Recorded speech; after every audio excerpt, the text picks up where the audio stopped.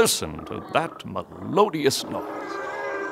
Is there a more romantic sound in nature than the barking of a huge bull sea lion? My name is Gil Newton.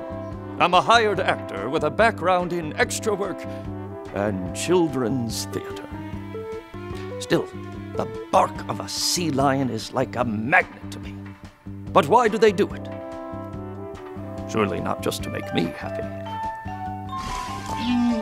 According to the script I mm. received, during breeding season, the male California sea lion barks to establish territory. Romantic indeed.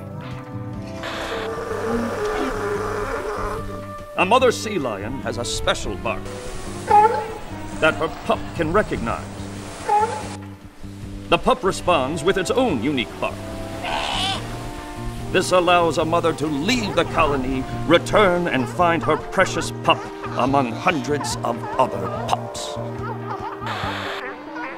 Barking. It's one of the joys of being a sea lion.